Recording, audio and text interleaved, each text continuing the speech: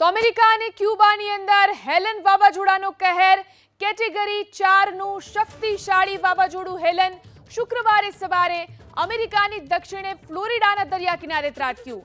વાવાઝોડાને કારણે અત્યાર સુધીમાં ત્રીસ લોકોના મોત નીપજ્યા છે, જ્યારે ભારે પવન અને વરસાદને કારણે એક હજાર ફ્લાઇટ્સને રદ કરવી પડી છે.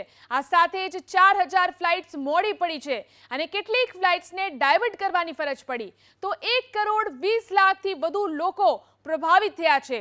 ફ્લોરિડાના દરિયા કિનારે હેલેન વાવાઝોડું ત્રાટક્યા પછી આવેલા વરસાદ અને પૂરમાં ફસાયેલા લોકોને બચાવવા માટે ઇમરજન્સી ક્રૂએ ભારે જહેમત ઉઠાવી. આ વાવાઝોડું ગુરુવારે મોડી રાત્રે ફ્લોરિડાના ગ્રામીણ બિગ બેંગ વિસ્તારના દરિયા કિનારે લેન્ડફોલ થયું. આ સમયે પવનની ગતિ પ્રતિ કલાક બસો પચીસ કિલોમીટરની ઝડપે હોવાનો દાવો કરવામાં આવ્યો.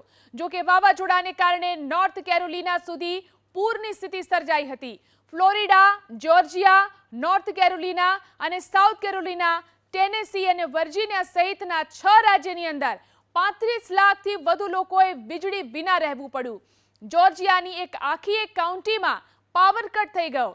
આ રાજ્યોની અંદર ઇમરજન્સી પણ જાહેર કરવામાં આવી છે.